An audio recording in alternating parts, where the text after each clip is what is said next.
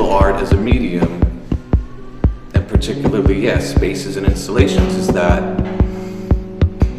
you're able to like directly access the viewer's senses in every way. You can work with them visually, sonically, across time, you know, temporally. You can make smells, you can do whatever.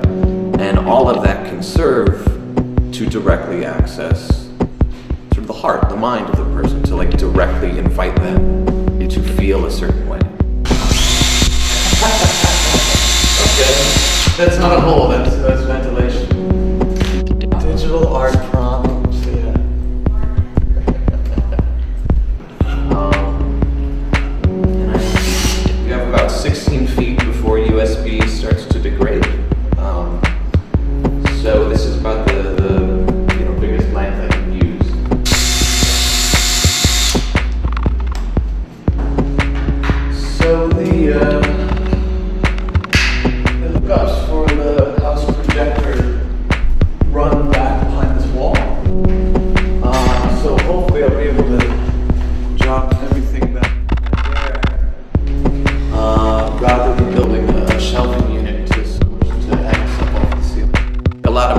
They're nothing. They're literally nothing, blank screens, um, until somebody shows up and chooses to you know, make the decision to, to be a part of it. Um, a lot of the work that I'm doing right now is based around the idea of kind of fostering embrace and connectivity through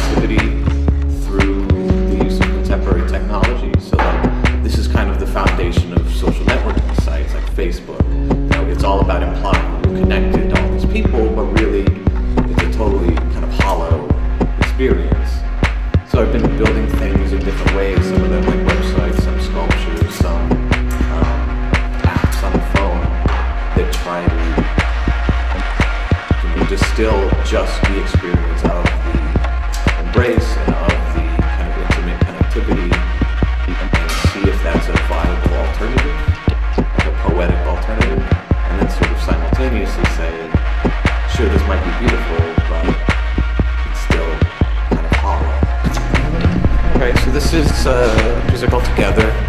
Um, functionally, what it does is um, if you choose to look at it, it'll capture your portrait. Um, and across the length of time that it's installed in the space, it'll save all of those portraits. So once your image is taken, it then sort of runs through every image it's previously taken and then looks for similarities like compositionally, uh, on color, based on structure, and then sort of flanks you with these people that the algorithm sort of deems you bear the most in common with. The, the sort of functional thing that does this image comparison isn't based on faces or body structure or race or any of the things that we kind of use in commercial facial recognition. But there's little things that hint at it. So viewer approaches and chooses to look at the portraits, if they are then also noticed by the camera, your face will show up with the rotating box around. But when I choose to look away and I leave the frame and I sort of leave the vision of the camera, these connections start to slowly form. So well, that, that gets into the thorny question of the difference between art. Even if I, my work was not just to be about emotional connection uh, between the viewer, uh, between the viewer and me, and I'm trying to portray some message, uh, trying to engage an, an audience into conversation. Once I started doing work publicly that I kind of realized uh, this work exists for other people, so I got interested in building things that don't really exist unless someone is interacting with it. So they sort of complete the piece rather than it just sort of being a, uh, a monologue of my assertion about this thing. Um, to be able to make it an actual dialogue where the viewer is present in the work itself, I don't know, became sort of interesting to me. Uh, I started including sounds within uh, my photography shows and they started to migrating towards installation. Then I realized that uh, I want to include some kind of participation from the audience. So I started uh, enabling sensors that uh, regulated sounds within the rooms based on people presence.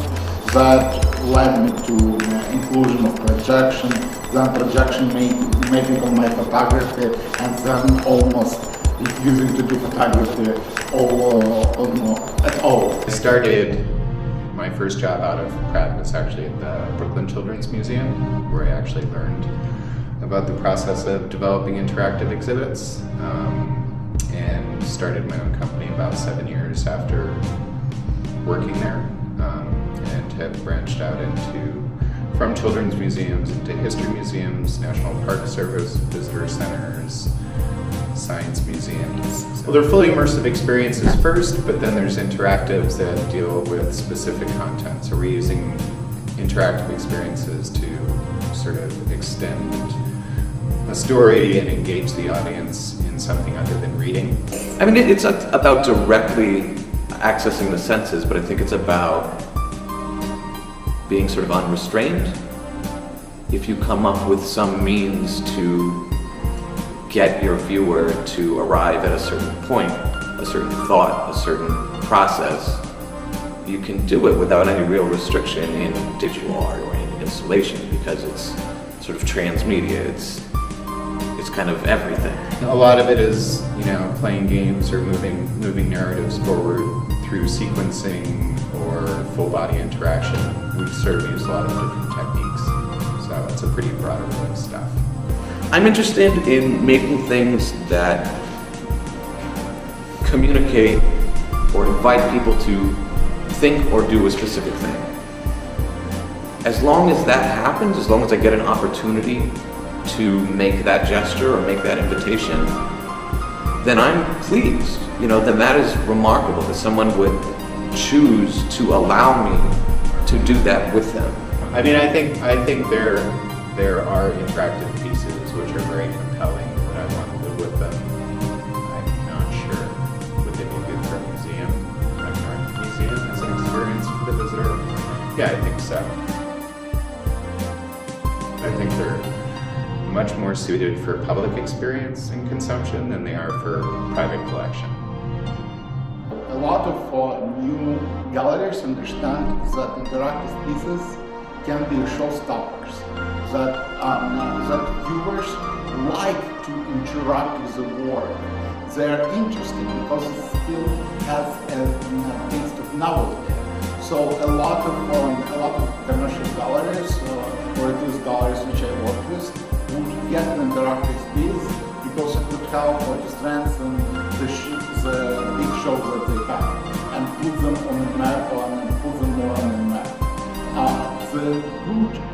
the good thing about interactive art is that it's not yet commercialized. And that's why it's empty from a lot of issues that, uh, that uh, a commercial and uh, commercial artist deal with. Uh, there is much more honesty, there is much more room for interpretation, and uh, there is actually space to work.